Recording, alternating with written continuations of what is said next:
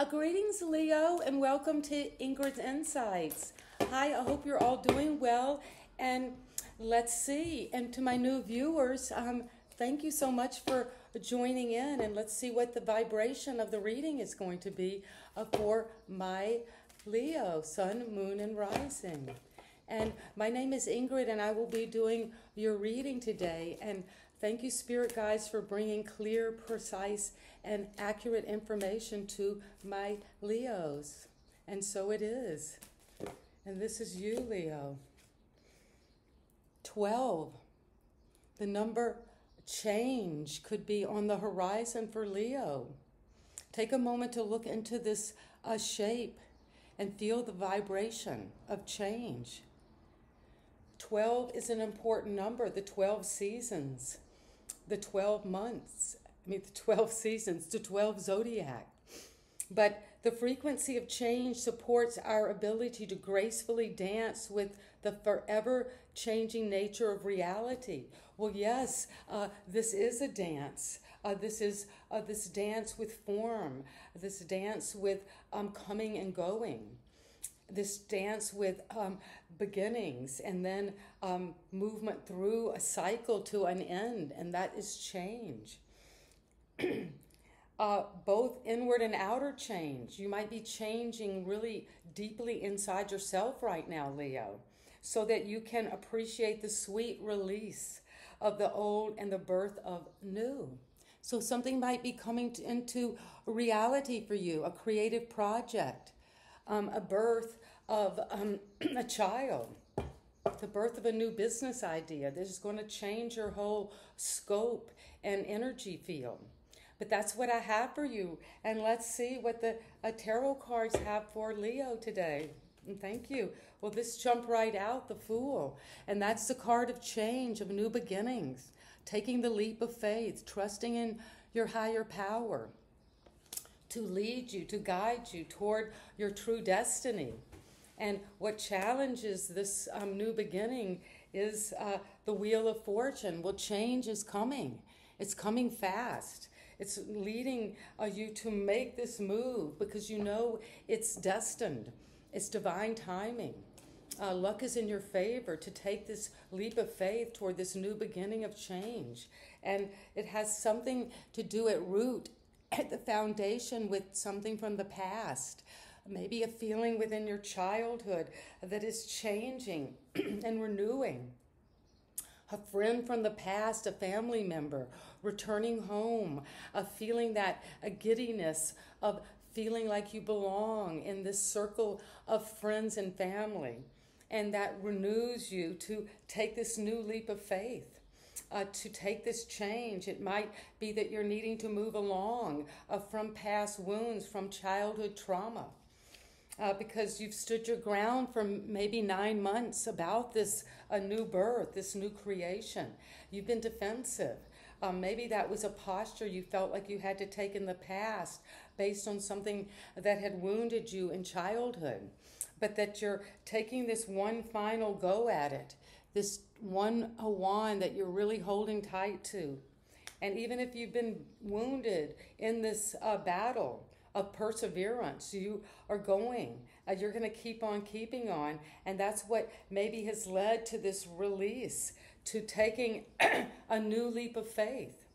Because I just had this vision that this wand that you've been holding on to for nine years or nine months in the past, uh, that that is what is, you see what you have your, just your little knapsack on, is the same wand so that's interesting. The thing that you were so resilient about, that you claimed as your own, now you're taking that out to be the um, the staff of your new beginning, and you are moving um, to see now something clearly that you received in a dream. Now take a moment to bring up a dream that happened recently. Leo, and that is showing you it might have stimulated this wheel to turn, some change, um, because you wanted to to uh, feel differently. Maybe something came up, a new feeling that was connected to how you felt as a child, and you want to work on that and go with it. Uh, go for it in a new way. Take a leap of faith, beginner's mind, uh, because it's going to bring you a great opportunity for wealth, but you're going to have to garden and plant and sow the seeds of this coin and to really work at it. Whatever this new beginning is, it's going to give you a new opportunity as well. And uh, you're going to be the magician. You're going to make magic with this beginning because it goes from the one to the two. And this lemniscate, uh, this is the mathematical figure of infinity. It shows that this magician, uh, that's you, uh, Leo, have this infinite power to tap into as above, so below, and use that inner authority, but also those extroverted energies to use your talents and gifts and make them real, to bring this coin with your uh, magic. And you can make a lot of abundance out of that. and the wheel is turning in your favor. And the environment is wow, the King of Pentacles. Well, you see the influence of your environment as being very wealthy uh, very prosperous, very good at managing money, uh, uh, very entrepreneurial, uh, but in the sense of working day by day, year by year with this enterprise you're doing um, and taking uh, that goal. Uh, this could be a Capricorn. And this, the Fool card is the Aquarius. And the Wheel of Fortune, Sagittarius. So the magician Gemini. So there's a lot of uh, different energies here. But you're um, influenced by a lot of wealth, by a lot of financial security. And that's maybe helping you uh, to make this leap of faith because you know you got the wheel turning, you got opportunity for growth, and you have a wealth and abundance. And your hope and fear is that you can get up there, get some perspective, get some scope, and to use your intellect to think through this, to move forward uh, with um, where you're going with this new beginning, and to get some information. You might even uh, be needing to gossip, uh, study, but you're g- going to use your mind in a new way. It could be almost a very youthful energy because you've got the page of cups and the page of swords. So, Leo, it's saying um, you've got these new feelings these new uh, desires that are stimulating you to dream, to have a new artistic vision, something you love to do. But you need to get more information on it. You need to think through it. But that's young. You're maybe gossiping, uh, talking about it a lot. But get the facts. Get more. Um, there's more um, research to be done, and uh, the advice is to be careful that you're not being interfered with by someone's um, negative influence. Because there's um, so many positive cards here. There's that you're getting up uh, some a new a perspective mentally studying uh, researching. Um, maybe why you have felt at the root of this in childhood at times um, hung up and trapped interfered with, imprisoned, isolated. Uh, when you're not really that um, tied up at all, you could easily move out of this. And the waters you think are there are deep or really shallow, you see. So this could be something shallow, some kind of uh, youthful gossip that's not really intelligent, um, not using the intelligence, and could be cruel hurtful interactions that lead to this feeling of isolation.